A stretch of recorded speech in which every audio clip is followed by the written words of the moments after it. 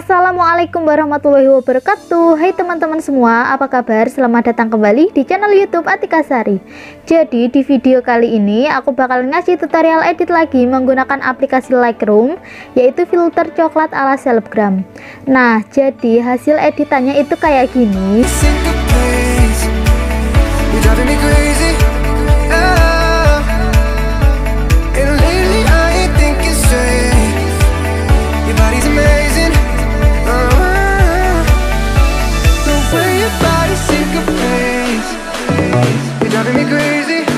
Oke sebelum lanjut biar kalian gak ketinggalan sama updatean video terbaru dari aku langsung aja yuk klik tombol subscribe karena subscribe itu beneran gratis like, komen, dan share juga ke teman-teman kalian supaya video ini bisa bermanfaat buat banyak orang oke so langsung aja kita ke tutorialnya Oke, yang pertama kalian masuk dulu untuk aplikasi Lightroom-nya. Tampilannya akan seperti ini. Lalu kalian pilih foto mana yang akan kalian edit. Aku bakal pakai foto yang ini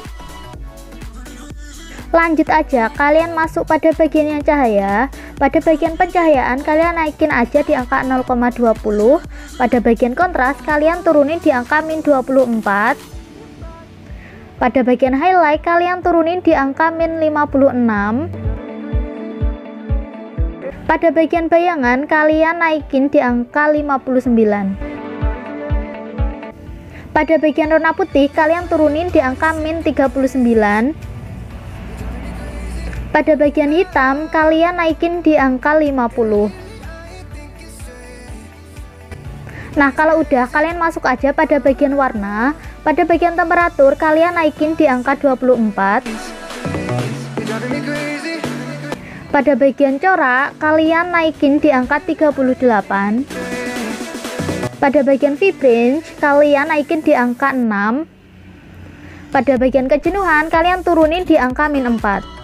Nah, kalau udah, kalian masuk aja pada bagian yang campuran warna.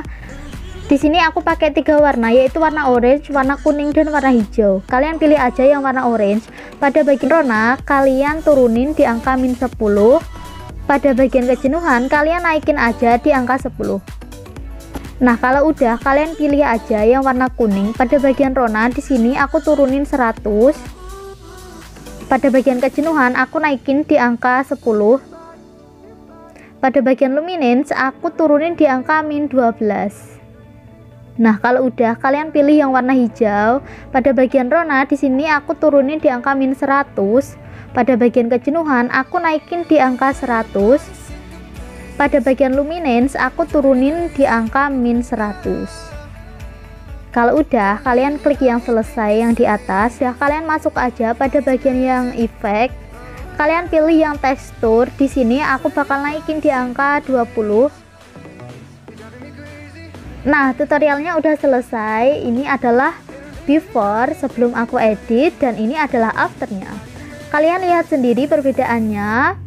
Untuk hasilnya ini cenderung ke warna yang coklat tapi lebih soft dan tetap keren banget Oke sekian tutorial dari aku. Semoga video ini bisa bermanfaat buat kalian. Jangan lupa untuk klik tombol subscribe dan hidupin loncengnya supaya kalian gak ketinggalan sama updatean video terbaru dari aku yang akan datang. Oke thanks for watching. See you on my next video. Wassalamualaikum warahmatullahi wabarakatuh